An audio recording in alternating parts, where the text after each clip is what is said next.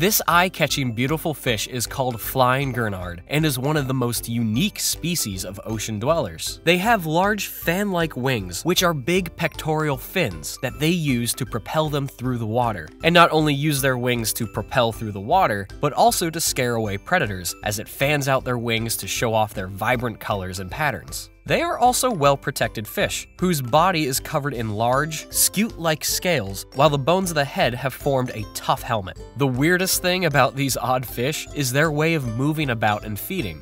Rather than swimming, they prefer to use their fins to walk along the seabed in search of food such as small crabs, shrimp, and worms. The oddness continues as they use two specially adapted parts of their pectoral fins, which look almost like two hands, which they use to prod and poke about on the seafloor, washing away sand in an attempt to disturb and uncover any potential food.